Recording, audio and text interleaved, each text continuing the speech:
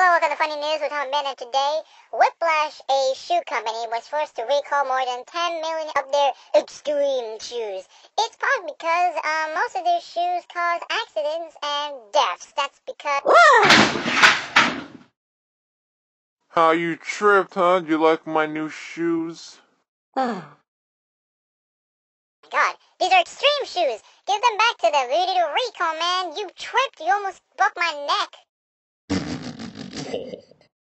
That sounds like the worst excuse I'd ever heard, man. Whiplash, they're like the best company ever, man. They're better than Adidas or Nike. Because you know why? Because they want me to become the Flash, my idol.